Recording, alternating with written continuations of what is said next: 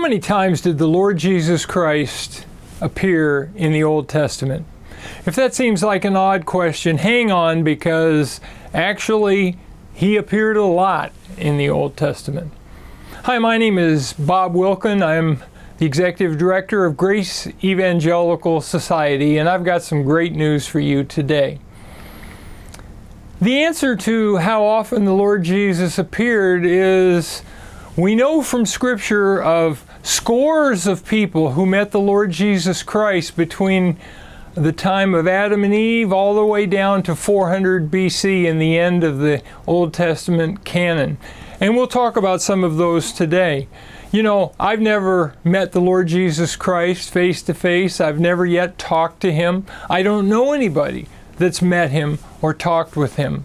And it's 2,000 years since anybody has met the Lord Jesus Christ or spoken with him. But that wasn't true during the Old Testament. I take an early date for the creation, so I'd say Adam and Eve were created around 4200 BC, plus or minus 50 years. And let's just do a quick survey of people who met the Lord Jesus Christ. And remember John 1:18 John tells us that no one has seen God at any time, but his only begotten Son, he has revealed him. So every Old Testament appearance of God, called a theophany, is really an appearance of the Lord Jesus Christ called a Christophany. Well, the first example would be Adam and Eve in the garden, Genesis 3:8, that he used to walk with them in the garden in the cool of the day. After they fell, he met with them and he judged them face to face encounter. In fact, he evangelized them in Genesis 3:15, and I believe that's when they came to faith. Uh, then, of course, their son Cain. Uh, around that time, maybe 4100 BC, uh, before Cain killed Abel, the Lord challenged him to bring his anger under control, and when he did not, he killed his brother Abel. And after that, the Lord met with him face to face and judged him. Uh, after uh, Cain, we had uh, Noah around 2400 BC. We know that Noah found grace with the Lord, and the Lord met with him and told him that he was going to destroy the earth and told him to build an ark. And so Noah preached righteousness for 120 years and built that uh, ark. We don't know exactly when Job was, but it was around 2100 BC, before, slightly before Abraham. And Job, we're told in the book, met with the Lord face to face and spoke with the Lord in a direct contact. And he said in Job 19, I know that my Redeemer lives and I will walk with him in the earth in my flesh. So Job had met the Lord and he knew he was going to be resurrected and in the kingdom forever. Uh, around 2000 BC, there were several people who met the Lord face to face. Abraham, on many occasions, Genesis 12, Genesis 15, when he came to faith, Genesis 17, Genesis 18, before the Lord destroys Sodom and Gomorrah, Genesis 22, when he offers up Isaac on Mount Moriah. And that, by the way, is when Isaac also uh, meets him. Uh, also, Hagar meets uh, the Lord. And the Lord speaks to her uh, directly. Abimelech, uh, the king Abimelech, he meets with the Lord, and the Lord speaks with him. All that around 2000 BC. Then 1900 BC, Rebecca meets with the Lord, and the Lord speaks with Rebecca. Around 1800, uh, Jacob meets the Lord. First, he in Genesis 28, he has this vision of the ladder called Jacob's ladder, the ladder between heaven and earth.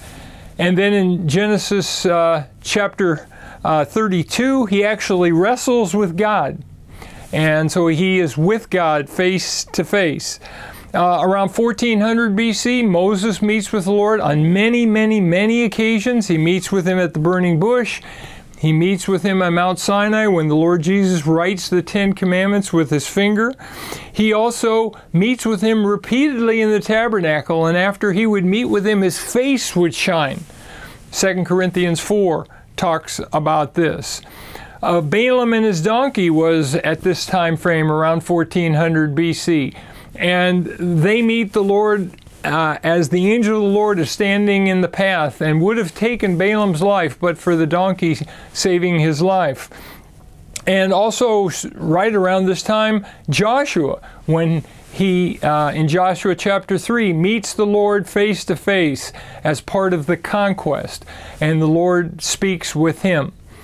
Uh, then, around 1150 BC, during the time of the judges, Gideon meets the Lord face to face. And around 1100, Manoah, the father of Samson, meets the Lord face to face. Around 740 BC, Isaiah meets the Lord. And remember in Isaiah 6, he says, I saw the Lord high and lifted up, and that he was a man of unclean lips. He certainly saw the Lord. And around 580, Ezekiel saw the Lord on multiple occasions. And then somewhere around 570, 560, in Daniel chapter 3, the three men in the fiery furnace met the Lord Jesus Christ face to face in the furnace with them. There was a fourth man in the furnace, and he was there with them in their trial, in their, in their difficulty. All of this means that there was a witness about the Messiah that went out from Adam and Eve at least until 400 BC. They told their children, their grandchildren, their great grandchildren. They in turn told other people. And the, the message went out far and wide that God had come to earth and God had met with people. And not only did they have the prophets who were telling them that if you believe in the coming Messiah, you're justified, you have everlasting life, you'll be in the kingdom.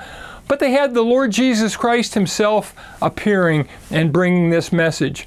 Remember, Jesus said, John 8 56, Abraham rejoiced to see my day.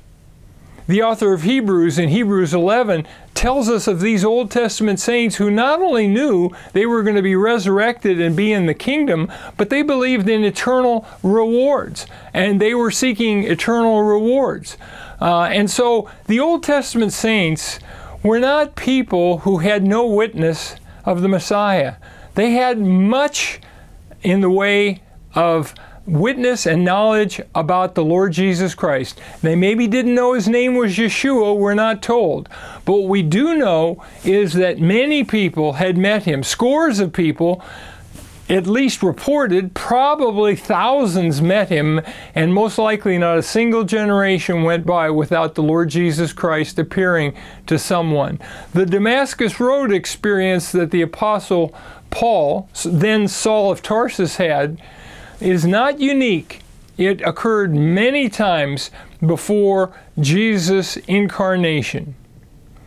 If you liked what you heard today, click the red subscribe button at the bottom of the page and be sure to check in each Monday to get a new video that we come out with that is meant to encourage you and help you in your walk with Christ. Remember, keep grace in focus.